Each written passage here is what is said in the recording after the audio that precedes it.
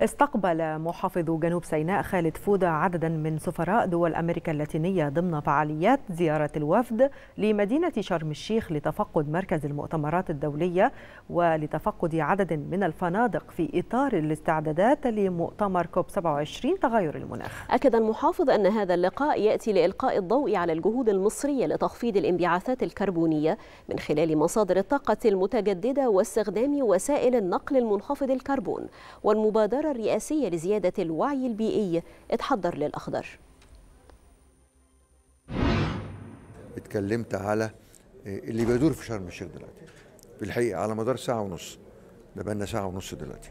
في الحقيقة واللقاء رائع وفهموا اللي بيدور واللي بيتم وإزاي شرم الشيخ بتتحول لمدينة خضراء. ومش خضراء وبس خضراء وبعدين ذكية وبعدين اسمها مؤمنة. ثلاث حاجات.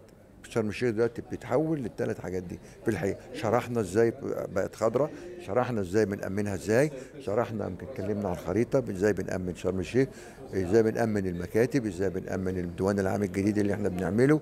كل دوت اتشرح للجميع. الحقيقة الزيارة دي لجميع سفراء دول أمريكا اللاتينية بالقاهرة لها أهمية خاصة لأن إحنا على وشك الانتهاء من مفاوضات ما بين أطراف الجهتين في بدء تشغيل خط طيران مباشر ما بين القاهرة وسان باولو في البرازيل. وده من شأنه أنه هيفتح آفاق كبيرة جدا لتعميق التعاون مع دول أمريكا اللاتينية في مجال السياحة ومجال العلاقات الثقافية إلى آخره.